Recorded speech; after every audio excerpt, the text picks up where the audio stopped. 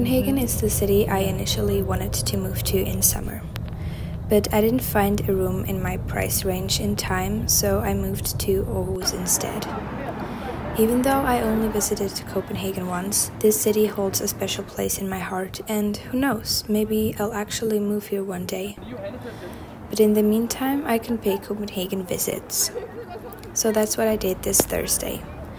I took a three and a half hour long bus ride and found myself in a perfectly sunny Copenhagen.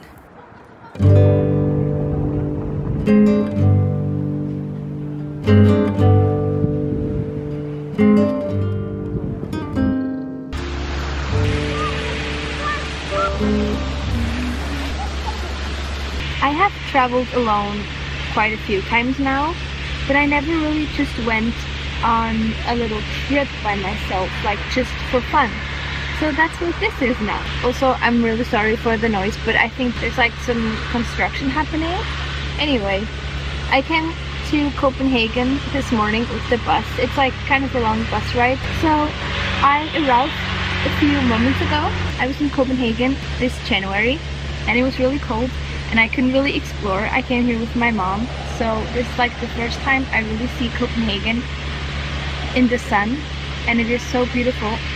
I think I'm kind of in a library garden right now and it all looks very royal and just beautiful and Copenhagen in the sun is like just completely different and also I just love the colorful trees everywhere. I love to see Copenhagen in my favorite season so I'm so happy to be here and it's like my first time really exploring a city by myself and I'm so excited.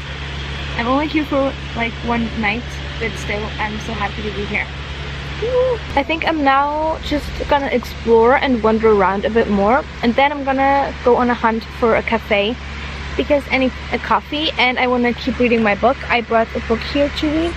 I brought this book here, Almonds. I heard such good things about it and I started it on the bus and now I'm, I'm already 80 pages in and it's so good. I love it so much so I'm gonna look for a cafe and then keep reading a bit in here. It's also so warm. It's beautiful. I'm so happy I like got lucky with the weather because that doesn't happen a lot in Denmark. But I love Copenhagen so much.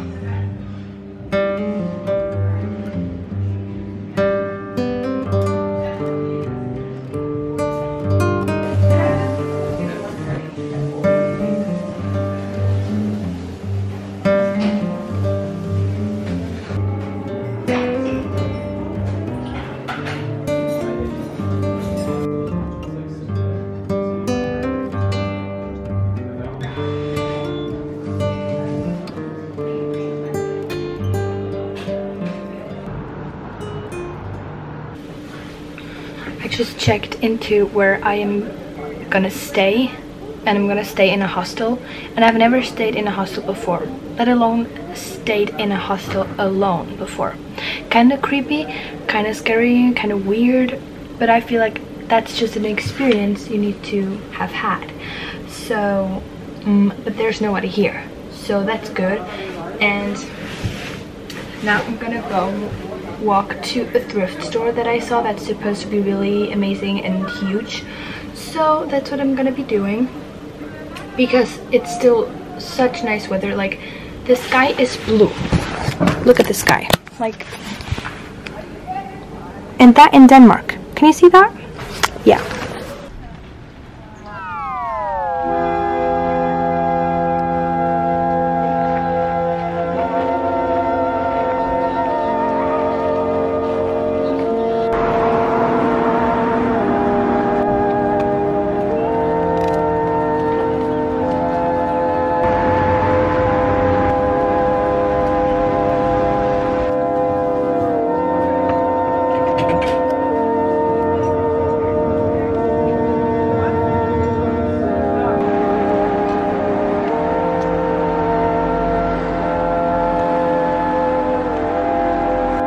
At that thrift store because it got kind of warm and overwhelming and I was getting tired. So I didn't buy anything there. But now I'm walking to like a pasta place that I actually wanted to go last time like in January.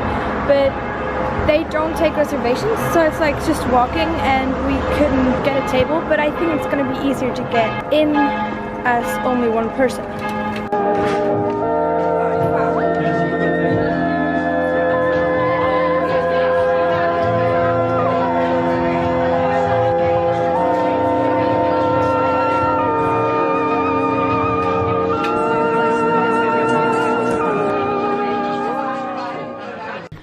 This hostel is actually not that bad, but it's kind of you kind of get lost if you don't pay attention. Like it's kind of a maze.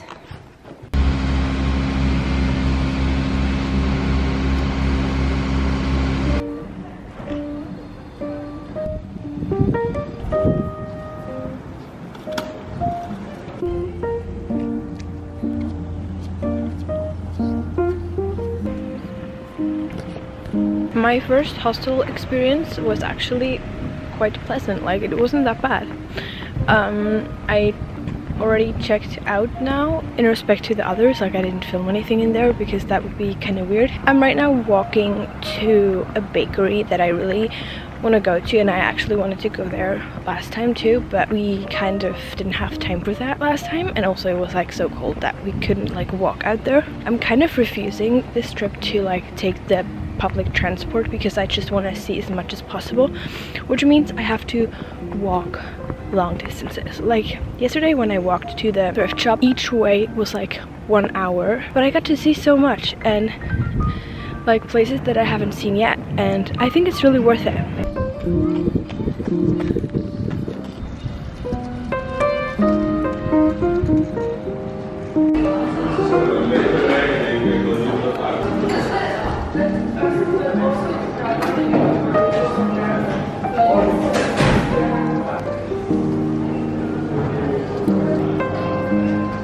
Thank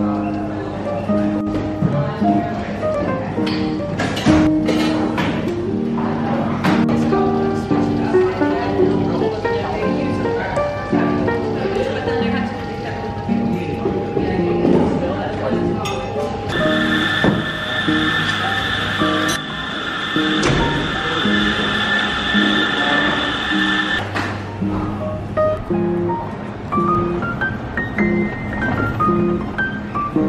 So, here are my thoughts about my first real solo trip. Somehow, I was kind of surprised how smoothly everything went. Doing things like this that are a little bit out of my comfort zone always turn out to be really good for my own trust in myself. I also had a lot of time to self reflect and think. What I loved most about this experience was that it was so easy to decide what to do next because I didn't have to worry about anyone else's needs, so I was just able to go with my intuition. I also love traveling with others, but it can cause conflicts very easily. I loved to just observe quietly.